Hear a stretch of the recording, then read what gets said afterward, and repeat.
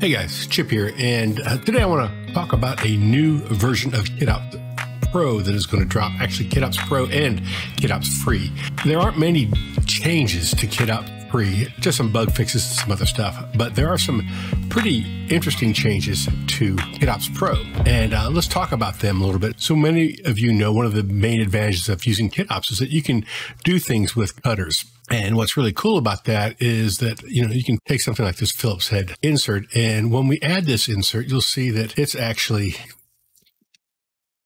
cutting into the object. Let's go ahead and turn this off. So you can see it's actually cutting into the object. If I go ahead and add a quick on this, uh, on this, we'll add a quick uh, bevel modifier and you can see even better how it is, you know, how it's cutting directly into that object. So that's a pretty cool thing, uh, and it's something very easy to do. But creating these cutting objects requires you to go into the factory mode. But we just added a new feature that you can now create these cutting objects directly from the main screen without ever going into any of the factory modes. So let's talk about that. Start a new file. And what I'll do is I'm going to just say Shift A, and I'm going to go ahead and add a cylinder. And let's move it up here, something like that. And let's just shrink it down, move it up. There we go, like that, something like that. Right click and we'll shade smooth. And then I'll come down, I'll just give it a uh, the same material, cutter material. And let's uh, also auto smooth it. So there we have that. And then I'm going to shift D, duplicate it and scale this one down a little bit. So with that done, let me go ahead and select this cutter and this cube, right?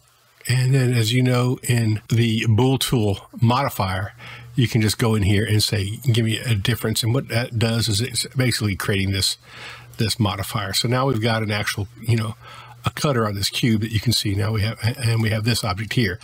And this is going to be our our screw object. Let's take a look at that. First, I'm going to tab into this and I'm going to hit three and I'm going to select this and I'm going to say control B. You notice it, you know, as it's really not doing what I want it to. And that's because I need to go under object and say apply. And I'm probably going to apply, you know, uh, rotation and scale. And now when I tab into this and say control B, you know, it's going to work just fine. Let's go ahead. Remember, I say either use one or use eight. Eight is the minimum. You can go more, of course, but let's use, so we'll use eight right here. Okay, and then we'll hit three, it's like this. And we'll just say I for inside, we'll move it in a little bit. I'll go seven to top view, one to go into vertice mode, and let's just grab this one, and this one, hit the J key to join those, and this one, and this one, hit the J key to join those. Go back up here, hit the three button to go into face mode, and I'm going to E extrude, drop it down, and S scale and move it like this. And now with that done, I'll just go into here and in KitOps, I'm just going to grab one of these, the free KitOps, KitOps metal. Let's grab something like the steel shiny, add material, and let's go ahead and add a little modifier on that. So maybe, maybe something like like that. There we go. So we have a little little slice modifier. Okay, so now that's done. We've got that done. Now that is, if we look here, we want to make sure the scale and the rotation are ones and zeros, and that's good. And let's grab this, and let's see where this is. Let's go here and see where this is going to insert. So you can see that it's it's going to insert right there. If we want to make it perfect, I can just go up here and say, let's, you know, click origin and let's move it up. Maybe just right there. That's fine. That's where we're going to drag that. That's where that cutter is going to insert. Let's go back and turn off origins again. And now with that selected, I'll select this and then I'll select this and I want to parent these, right? So I'll go under object and I'll say parent object. So what I've done now is I've basically taken this cutter so that, you know, if I G shift C, you know, I can move it around. And when I move it around, this this piece follows in, in inside. So I look over here and the cylinder, you'll see that we have another cylinder right there. I'm going to go into a folder like this one. I've already got one already here, but you'll see what's going to happen. So I'm going to grab just this. Remember that this is the parented cutter, right? So it can actually cut into stuff. And with it selected and making sure that it's set to scale up, you notice the scale is not correct, right? So what I'll need to do is I'll need to control A and I'm going to say rotation and scale. Now it's correct, right? So now if I take this and say G, I move it around. Okay, and this is also correct. So they're both they're both right, and that works good. And I can just right click on this and say KitOps, create insert, use object origin. Now, where is it going to put it? It's going to put it in whatever the selected KPACK is. So let's go in here and do that again. KitOps, create insert, use object origin. This will override an existing insert. Are you sure? Yes, we are. We're going to overwrite this one right here. And you'll see the new thumbnail pops up and there it is. And let's go ahead and turn off my face orientation. And let's just hit this X. Oops. X and delete that, X and delete that. And then we'll come in here and uh, let's go back into perspective mode. We'll select this object and, you know, with our snap mode to nothing, I'm basically going to say, I'm going to add this insert. I'm going to move it over here, use my middle mouse wheel to change the actual size of it, right? And then I'll hold the Alt key down and I can actually rotate it. So I'll just, something like this. And then with that done, and now that we're in smart mode, I can just say X and Y. So I put some over here. Now, another thing I can do is I can select this and I can just come in here and it's going to remember the last size. And if I hold the Shift key down, I can just start, you know, dropping these wherever I want to by holding the Shift key down. And then when I'm done, I just let the Shift key up and we've got it. So that's a really fast way to create some inserts, you know, in a library uh, without having to jump into the factory mode. That's a real cool feature, just something that uh, you should know that we've uh, just added in this new Hardpoints edition of KitOps Pro. Okay, so now let's talk about the really cool stuff, which is the new hardpoints feature of KitOps Pro. And so let's talk about what that means. So to understand hardpoints, you need to understand snap modes. And as you may already know, in KitOps Pro, we have these different snap modes. And let me show you what I'm talking about. Down here, we have none. We can snap to vertices. We can snap to edges. We can snap to faces. And now we can snap to hard points. So let me show you what I'm talking about. So let's just go here into the solid view and I'm going to add this insert on this object.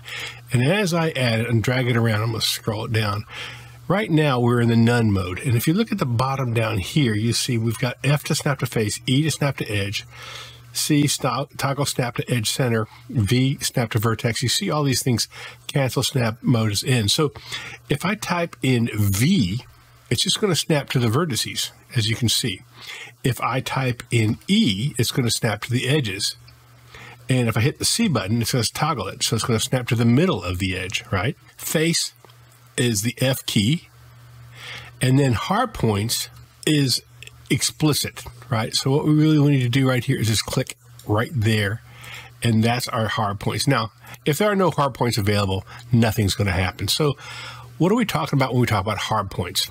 Perhaps the best way to show you this is uh, with an example. So let me go ahead and show you using this new KPACK that Brunia and I have developed, which allows you to create all kinds of different workstation designs. And they all snap together kind of like Legos. So what I'll do is I'm going to just basically go in here and I'm just going to grab one of these connectors. We start off with a connector in this case, and let's just say this one right here. And I'm going to add the insert, and then I'll just zoom in, and you can see there's there's the insert. And it's got these two little things right here. See these little things right here? These guys, these little guys right here, it doesn't matter if we're in smart or in regular mode, but these little things, those are our hard points, right? And that's what we're going to snap to. So with that set, let's just go ahead and I'm going to grab a keyboard. Any keyboard will work. So I'll grab this keyboard and even though nothing is selected, as long as I have this hard points here, it's going to actually look at the whole scene and try and snap to one of these two hard points. And there we have it. And let's grab a display. And now we'll snap the display to the other hard point. And there you have it. Now, these have hard points. This has got two hard points up here and up here.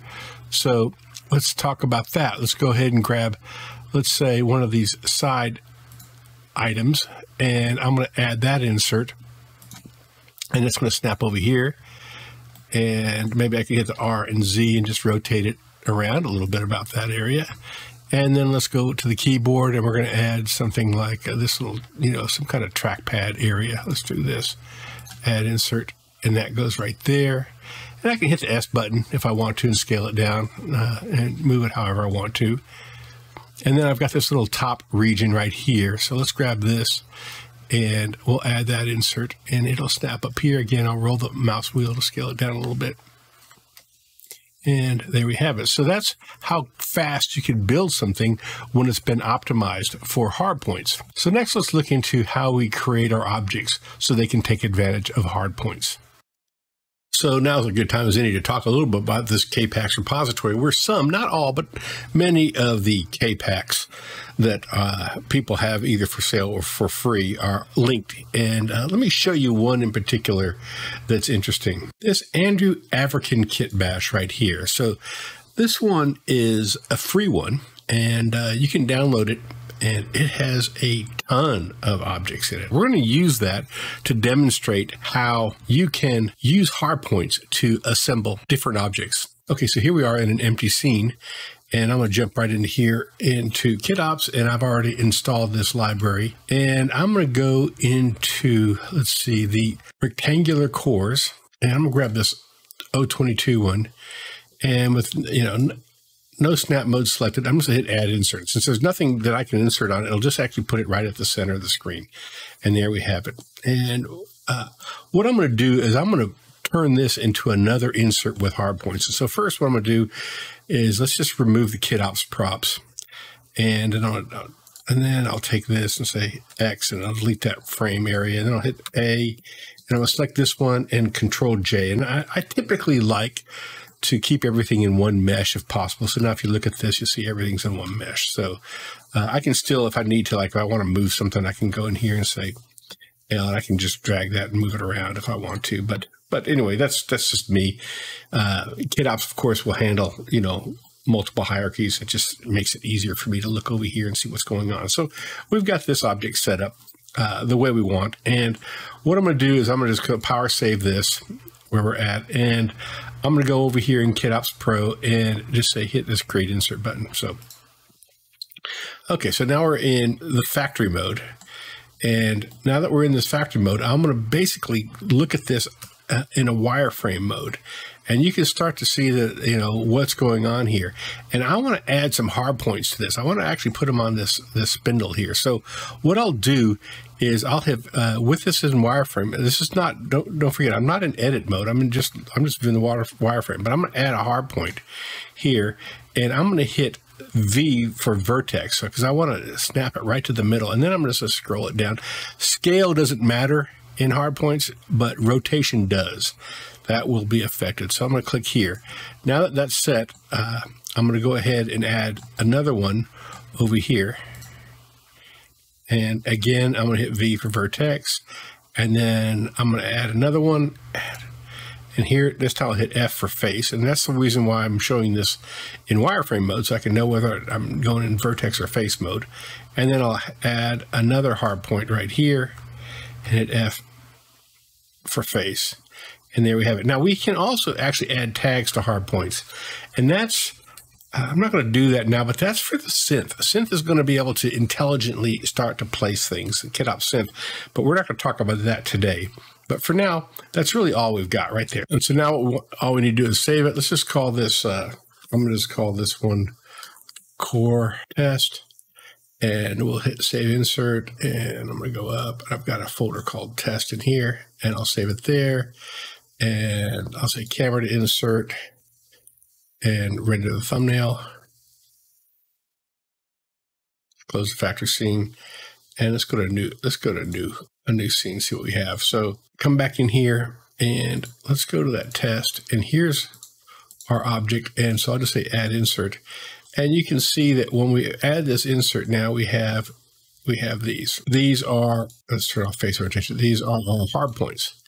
So now what we want to do is we're going to want to add some kind of cylindrical objects to this. And what I want to do is I want to show you how we set up a cylinder object to be able to add it.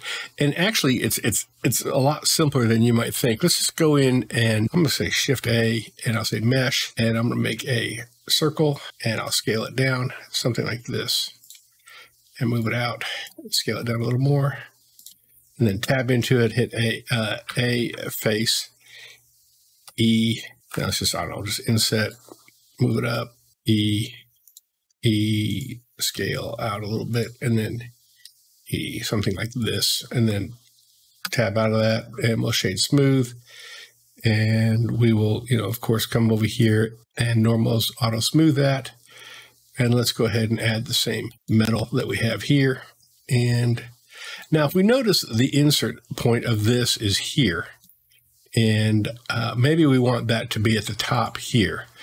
Uh, so let's do this. Let's go ahead and rotate this around the X, RX 180. Now it's it's still, we still want the insert point to be down here. Lift S and I'll say origin to selection. And that goes right there. And that's because I have this add-on called Snapping Pies. And uh, we'll put a, a, a, link to that. It's a free add-on made by Master Xeon, the box cutter and, and hard ops guy. He also is, uh, you know, my partner in, in KitOps. So um, anyway, so uh, so now that we have that set like that, then I can say Control A, and I want to basically say rotation and scale.